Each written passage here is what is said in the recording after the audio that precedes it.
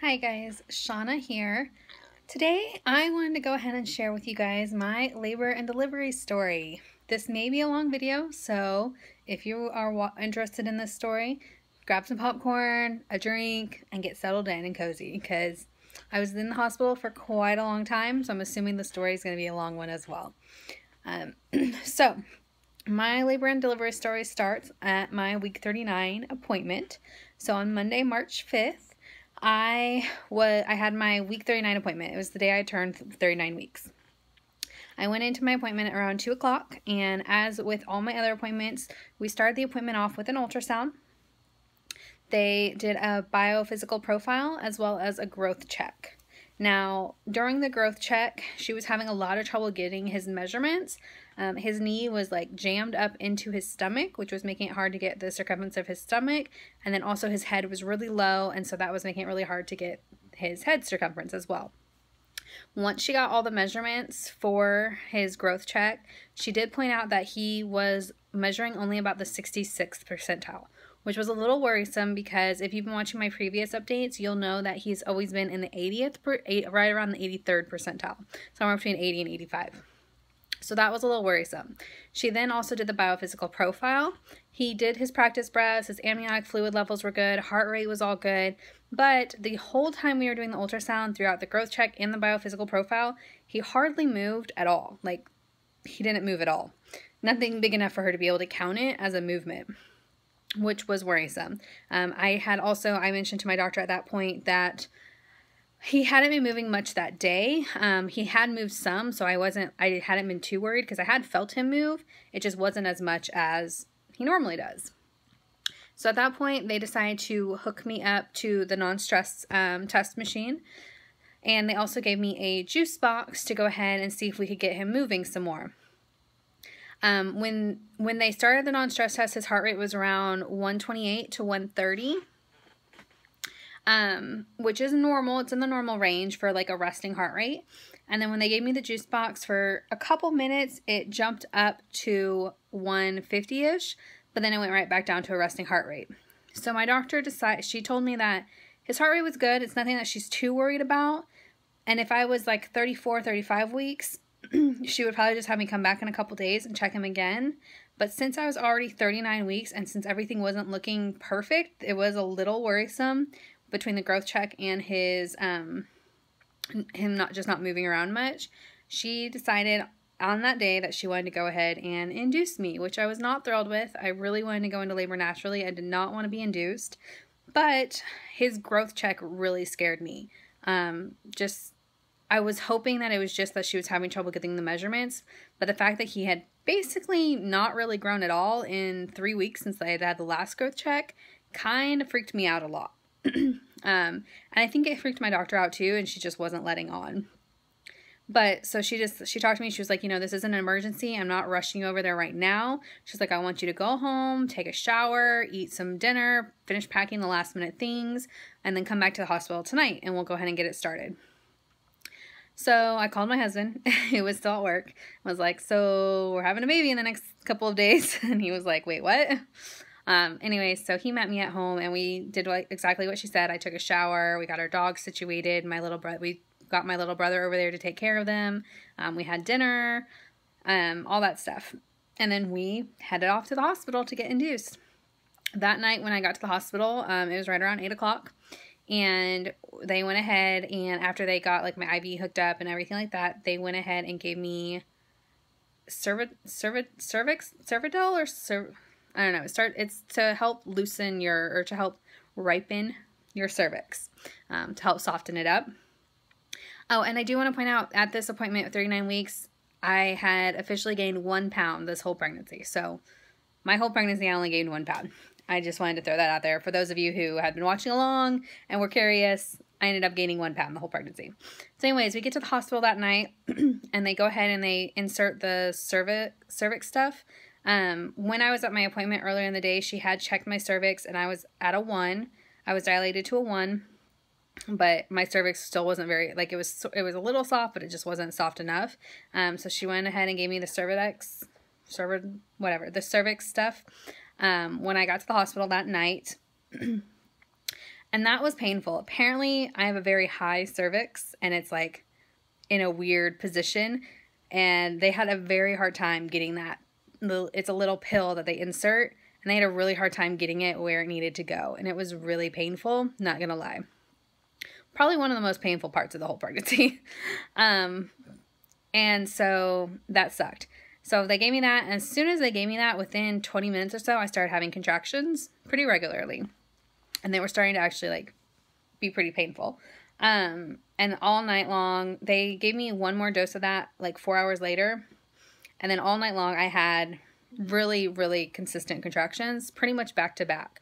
Um, they were going to give me a third dose four hours after the second dose, but because I was having contractions back to back, um, they decided, uh, I guess they can't give it to you if your contractions are more than three minutes, like closer than three minutes apart. Um, and mine were, mine were literally back to back. So they couldn't give me any more of that. Um, so they just let me labor throughout the night. And then in the morning, um, they told me to eat and drink some stuff because they were going to go ahead and start the Pitocin. And once they started Pitocin, I was on a clear liquid diet only which I was not thrilled with. So I did. I ordered breakfast and I ate that. And then I think around 9 a.m., they went ahead and started the Pitocin. Once they started the Pitocin, I continue to have contractions back to back to back, um, never getting a break in between them, and they were painful. I did have back labor, and that was the worst part. I would go, most of my contractions I had back labor with, and then I could tell there was a few here and there where I didn't have any back labor, and I could handle those just fine. The back labor, though, was awful. Luckily, my husband was amazing and was like rubbing my back. Every time I'd have a contraction, I'd be like, oh, rub it, rub it, rub it. And he'd rub it, which, like I said, was almost consistently. But so that helped a lot. They kept like going up and down on the Pitocin because every time they went up, um, I was having the contractions so close to get like whenever they'd go back down on the contra- on the Pitocin, I would have the contractions like two to three minutes apart. So it still felt back to back. But whenever they would up it, I would have contractions literally back to back, like without any, like with a, like a 30 second break in between. And they said that that's, it means your uterus is like stressed or, um, I don't remember what they called it exactly. Uter, ur, ur, uterine distress. That's what it is. My uterus was in distress. and so they kept having to lower the Pitocin. Um, but,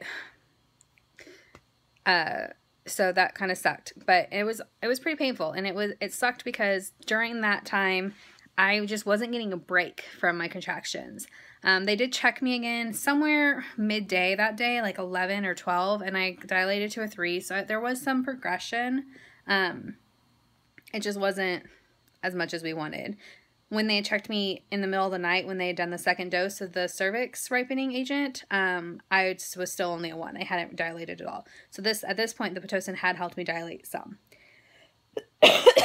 um, they did at one point up it. I think so. They started off the pitocin at like a two, um, and that's they kept going between two and four and having to go back down to two. Which I don't know what any of those numbers mean. I just know that's what the doctors told, what the nurse and doctors told me. Who knows what it means? Um, later in the afternoon, they did up it to a four, and my contractions started getting a lot worse. Um, and still, they were back to back, but they started getting really bad where I was having trouble breathing through them. My whole body would tense up, which I know isn't good because your body can't do what it's supposed to do when you're all tensed. Um, and so I was stressed out about that because I kept trying to relax and I couldn't. Um, my mom was holding my hand and helping me by like telling me, you know, breathe through it. It's okay. We're, we're going to breathe through it. But it got to the point where every time I would feel one coming on, I would just start crying, which, like I said, was back to back to back. Um, around four o'clock in the afternoon, um, I had I asked them to check me again because I was feeling a lot more pressure down there, and I was just the contractions were a lot more painful and I was feeling like I couldn't, I could hardly take it anymore. And they checked me again, and I was still only at a three. I hadn't progressed any at all. when they told me that, I burst into tears, and it, I'm gonna cry. Um, it broke me. So, for those of you who don't know, I was very determined to have a natural labor. And at this point, I had been laboring since they had put the cervix ripening agent into my cervix at eight. It's probably closer to nine o'clock the night before. I've been having contractions, real strong contractions, and um, I they don't I don't think they considered it active labor yet because it wasn't labor that was making me dilate. But for me, it felt like active labor. Like it was it hurt. Um, so I'd been contracting since nine o'clock the night before. At this point, it's probably four or five o'clock. So it had been, I don't know, like 20 hours or so. However, I'm I'm not gonna do the math, but whatever the math is, it had been that long. Um, and I just I burst in tears and I cried and I cried and I was like, I can't do this. I want that epidural. And I felt awful. I my husband was like, if you need it, just get it. Like, don't feel bad about it. But I felt bad because I didn't want to do it. I wanted to do it natural. And it was a really hard decision for me to make. And the nurse was like, okay, I, I'm going to tell the anesthesiologist to come. Do you want me to go ahead and give you something in the meantime to try to take the edge off? And I was like, yes, please. So they gave me, starts with an F, it's some painkiller. Um, I wish I could remember the name of it. I'm sorry. Starts with an F though. They gave me that and she goes, it'll take about 10 seconds to kick in. And then right as, after she gave it to me, I got another contraction. And I was just waiting and waiting for it to kick in, and the contraction still hurt just as bad. And I was bawling my eyes out, and I was like, "When is this gonna start working?" And she was like, "It's you, you." She was like, "It's not working yet," and I was like, "No." And she was like, "Okay, well, for, it doesn't work for some people. You just may have, it may not work for you." And I was like, "Can you do me something else?" And she was like, "No, the anesthesiologist will be here soon." And I was crying and bawling because we had learned in our labor and delivery course um, as well as I had read online to that to get an epidural once you ask for it, it can take a long time because you have to wait for the anesthesiologist. And a lot of times they're busy, they have other patients, and it's all that. Luckily, I was delivering in a very small hospital. I was the only, at this point, the only laboring person on the in the hospital. There was one other person who'd had a baby earlier that day, but there were we were the only two patients in labor and delivery. Um, and it was it was a small hospital. It's a rural hospital they had they had just built this one a couple years, a few years ago, probably five years ago or so. So it's still pretty tiny. So luckily, my anesthesiologist was there within 10 minutes, which was amazing.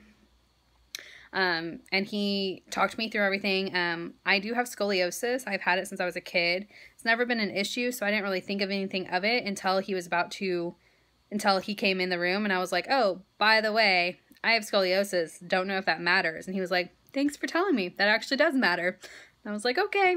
So he had me, they had me do the whole thing where you bend over so your back curves um, and hold on to your husband. And I held on to my, uh, my husband. And then he was trying to find, he was trying to feel my spine to see where it curved. he didn't really, he couldn't really tell. He's like, does it curve to the left or to the right? And I was like, I don't, I don't remember. I was like 11 when they diagnosed me and it's never been an issue. So I've never had to deal with it again. So he did um, he did finally kind of figure it out and he stuck me and he asked me if I could feel it more on one side or the other. I couldn't really tell, but I thought I felt it more on one side. Anyways, all in all, he ended up having to stick me three times before he got it in. Once they got it in, they told me it could take about 10 minutes or so for it to kick in and be in, be effective. Um, and so they were like they were like we're just going to wait and kind of see. And within the, and then um, next thing I know, the nurse is like is saying, "You're having a contraction. Are you feeling anything?" And I'm like, "No, this is awesome."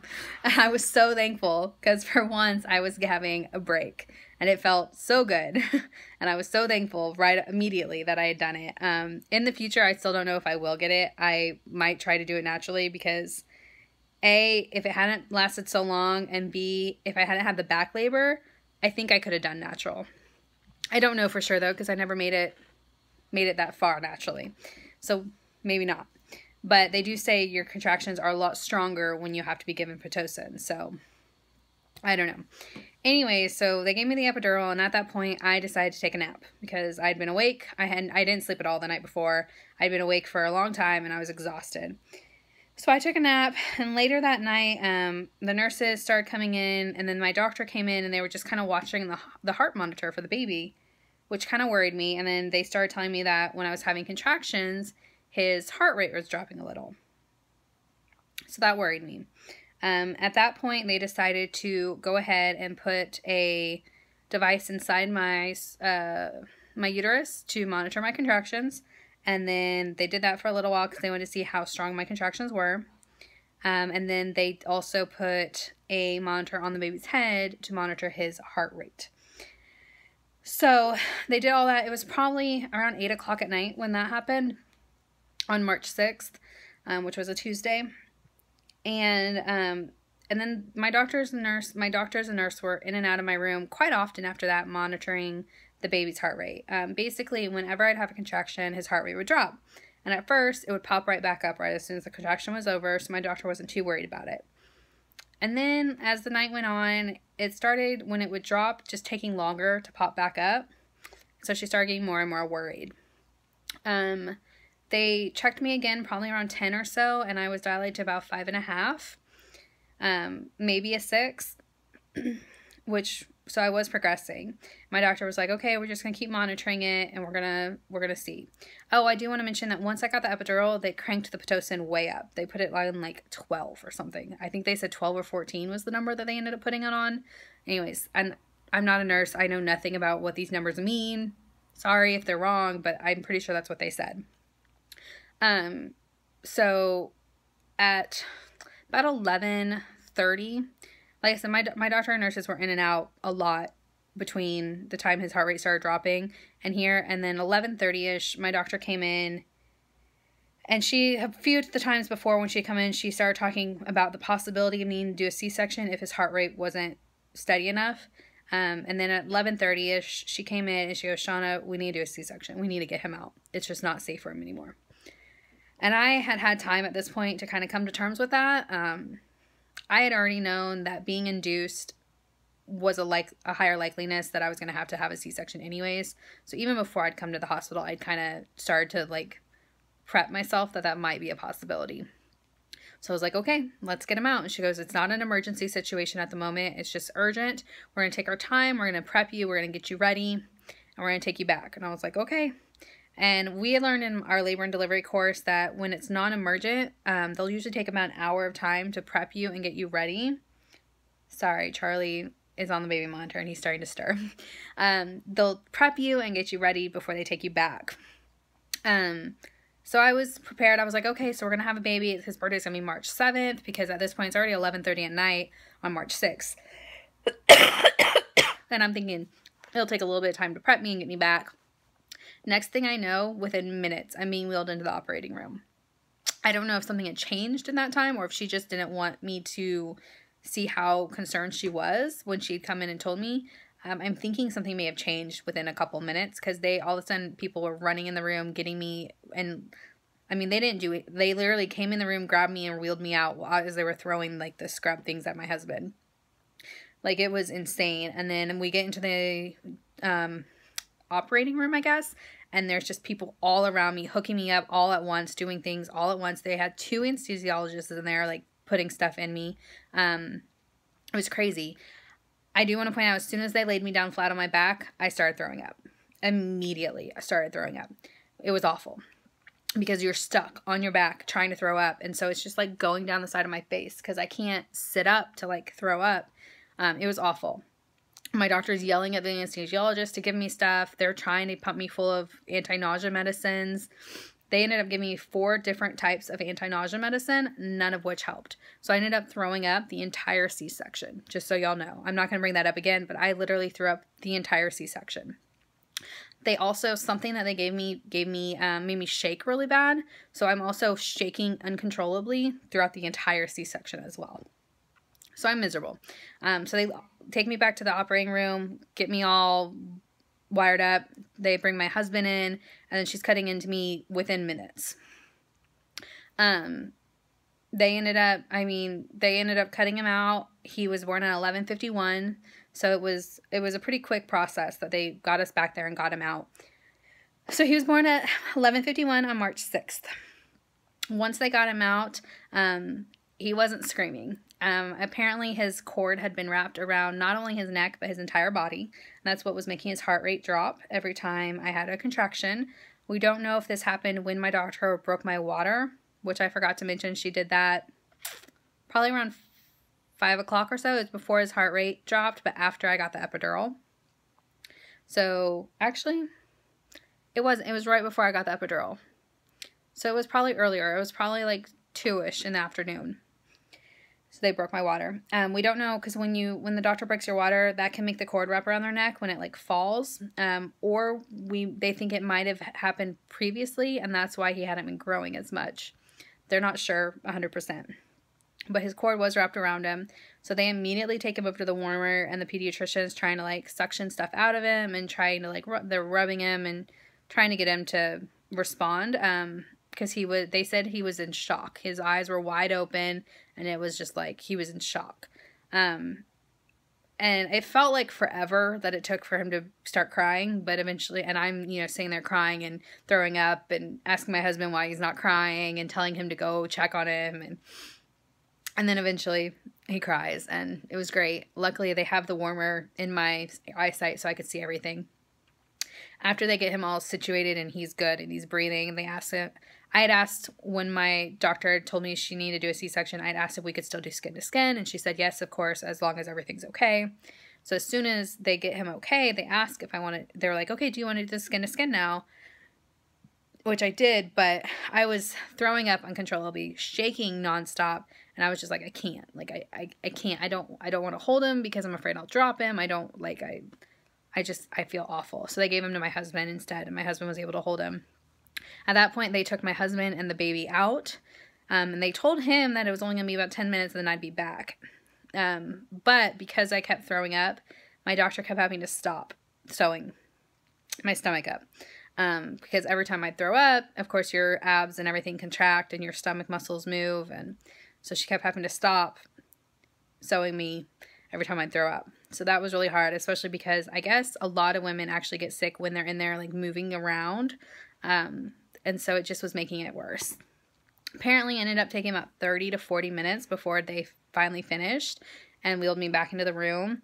Um, they tried to do, they asked me again if I wanted to do skin to skin, but I was still shaking uncontrollably and still really nauseous. Um, and so I didn't do it right away because I didn't, I didn't want to hold him again. I was afraid I'd drop him because I couldn't stop shaking. They did give me more Zofran at that point, um, which is an anti-nausea medicine, and I did finally get stop throwing up. and then the shakes took about 30 to 45 minutes after I got back to the room before they stopped. Once they had calmed down a little bit, I did go ahead and do skin to skin with him, um, which was awesome and amazing. And he's gorgeous.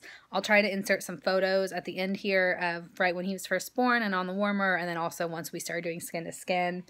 Um, but it was a very long process, and it was scary and a little bit traumatic.